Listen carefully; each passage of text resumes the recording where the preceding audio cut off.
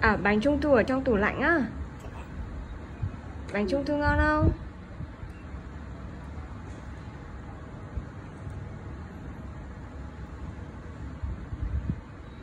Nhím đang ăn gì đấy?